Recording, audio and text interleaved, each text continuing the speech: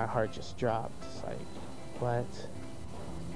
It's just so much shock went through everybody there, and we we just were baffled by the whole thing.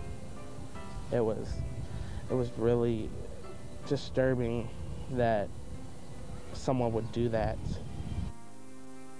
It was scary for a while. It was really scary. I didn't I didn't know if they were gonna terrorize here or like because there was threats on for the Golden Gate Bridge and everything. So it was it was really scary and like I was I was shocked first when it happened, but I remember that day clearly.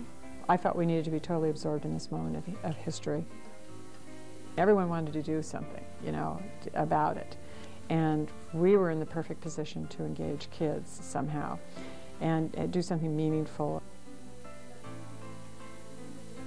The quilt was made entirely of fabric and the individual squares were a muslin fabric that were pre-cut. And I think they were like six by six inch or something like that. They did the drawing and then they used fabric paint and we kept with a red, white, and blue color scheme so there'd be unity in the whole piece. All I really had to do was just supply the materials, um, cut, cut the squares, give it to them, and they, it, most kids knew exactly what they were going to do. Uh, the square that I did, um, I had the two uh, twin towers, and I had the American Eagle in between it, like with its wings spread over the two twin towers. I did a couple of squares. Uh, the first square I did, I think, was of the two towers.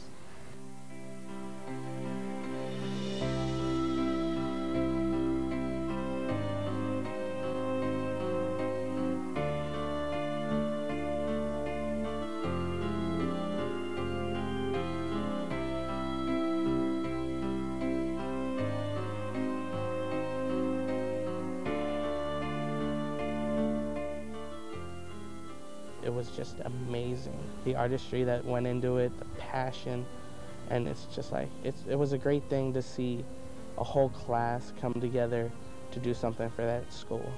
We had our teacher and another teacher go over as ambassadors from here to there saying, you know what, we're here for you guys.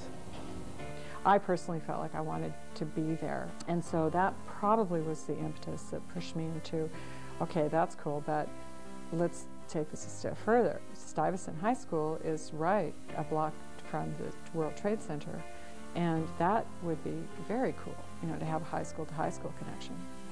That's it, of course. We all came together. It was just so great how so many students came and we signed our names. We we helped, we put glitter on it, made made it look even better. And it just it was in our hearts that we wanted to do something like that.